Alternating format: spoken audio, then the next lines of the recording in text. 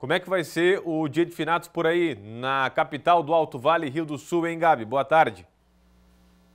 Boa tarde, Rodrigo, para você e para todos que nos acompanham novamente. Amanhã, todos os serviços públicos municipais aqui em Rio do Sul estarão fechados. Em relação à coleta de lixo, à educação e também alguns serviços como a área azul, amanhã também não funcionam por aqui.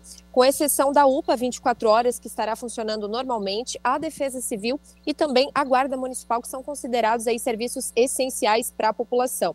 A coleta de lixo, então, não será realizada amanhã e volta ao normal na sexta-feira, assim como a área azul e também os centros educacionais aqui do município.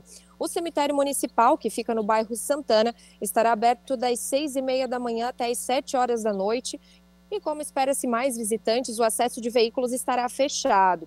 Com esse tempo chuvoso, inclusive, a administração municipal pede que a comunidade evite levar utensílios e objetos que possam acumular a água da chuva e se tornar um possível local para a proliferação de mosquito da dengue, por exemplo.